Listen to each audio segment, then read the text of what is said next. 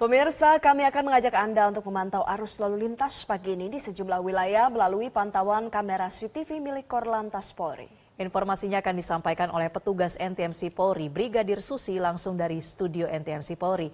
Selamat pagi, Brigadir Susi, silakan dengan laporan Anda.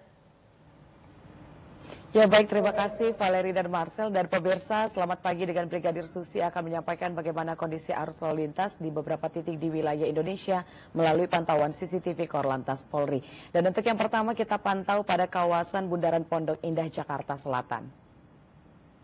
Arus lalu lintas pada pagi hari ini dari arah Lebak Bulus yang akan menuju ke Blok M ataupun yang mengarah ke Fatmawati saat ini sudah terpantau cukup ramai.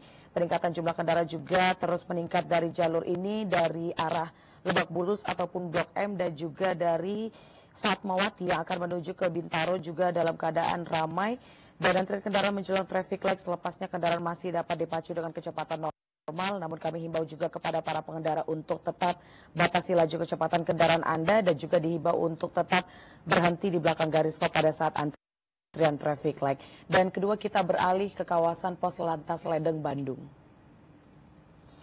Untuk kondisi lalu lintas di kawasan ini, yakni dari arah Lembang Budi saat ini dalam keadaan kondusif, begitu juga untuk arah sebaliknya masih dalam keadaan kondusif lancar. Sementara kendaraan yang datang dari arah Sersan Bajuri yang akan menuju ke Lembang ataupun yang mengarah ke Setiabudi saat ini juga dalam keadaan relatif lancar.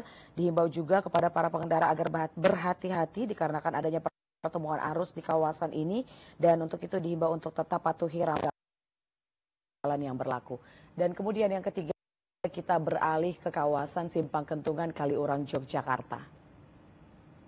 Dari arah kota Jogja ataupun UGM yang akan menuju ke Kaliurang saat ini dalam keadaan masih kondusif lancar sementara untuk kendaraan yang datang dari arah Magua Harjo ataupun Solo yang akan menuju ke Jombor saat ini sudah cukup ramai dan di Kawasan ini juga didominasi oleh kendaraan roda 2 dan untuk itu juga dihimbau kepada para pengendara untuk tetap berhenti di belakang garis stop pada saat antrian traffic light dan tetap memberikan hak prioritas utama kepada para pejalan kaki yang akan menyeberang.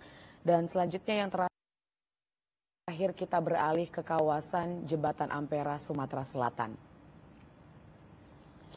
Sementara untuk di kawasan ini dari Jalan Sudirman yang akan menuju ke Jalan ataupun yang mengarah ke jembatan Ampera saat ini juga dalam namun masih kondusif.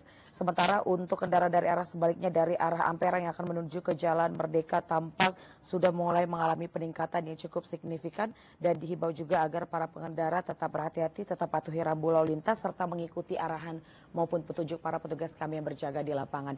Dan pemirsa berdasarkan data IRSMS Korlantas Polri, angka kecelakaan satu kali 24 jam terjadi 216 kasus laka lantas dengan rincian 27 meninggal dunia, 26 luka berat, dan 271 luka ringan. Dari 216 kasus laka lantas tersebut, 74 persen didominasi oleh kendaraan roda 2. Maka dari itu kami himbau kepada seluruh pengendara untuk tetap mengutamakan keselamatan daripada kecepatan. Dan apabila Anda ingin mendapatkan informasi mengenai kondisi arus lalu lintas terkini, kami siap melayani Anda dengan cara menghubungi call center kami di 15669 dan SMS center di 9119. Stop pelanggaran, stop kecelakaan, keselamatan untuk kemanusiaan, Indonesia tertib dan salam presisi. Demikian informasi lalu lintas yang dapat kami sampaikan pada pagi hari ini. Selamat beraktivitas kembali dan kembali ke studio. Baik, terima kasih Brigadir Susi atas informasi Anda. Selamat kembali beraktivitas. Jelajahi cara baru mendapatkan informasi. Download Metro TV Extend sekarang.